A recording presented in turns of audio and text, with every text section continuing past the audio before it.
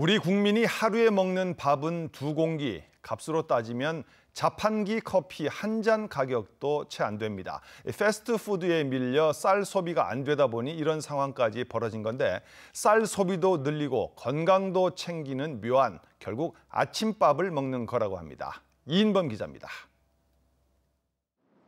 일선농협 조합장들이 정부 세종청사 앞에서 백설기 나눠주기 행사를 펼치고 있습니다. 아침을 건너뛰는 게 일상화된 공무원들에게 아침밥 먹기 운동을 호소하고 나선 겁니다. 아침밥 먹기 등 우리 쌀 소비를 촉진시켜서 어, 농업인들에게 희망의 메시지를 전달하고자 이 행사를 기획했습니다. 지난해 우리나라 국민 1인당 연간 쌀 소비량은 62.9kg, 하루 172.4g입니다. 두 공기도 안 먹는 셈입니다. 연간 136.4kg을 소비하던 1970년과 비교하면 무려 배 이상 급감한 겁니다. 그 공백을 밀을 재료로 한 패스트푸드 식품이 점령했습니다.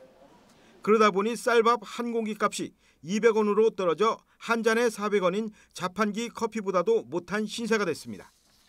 전문의들은 밀 소비가 늘어나면서 나타나는 소화장애 등 글루텐의 위험성을 경고하며 쌀의 중요성을 재평가해야 한다고 지적합니다. 식품 알러지의 주요 성분 중 하나인 글루텐이 들어있지 않고 쌀룬이 많이 들어있을수록 식이섬유라든지 바이타민이 풍부해 영양학적으로도 더 우수하다 말씀드립니다.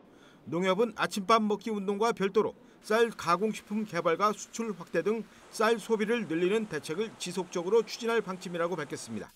TJB 이인범입니다.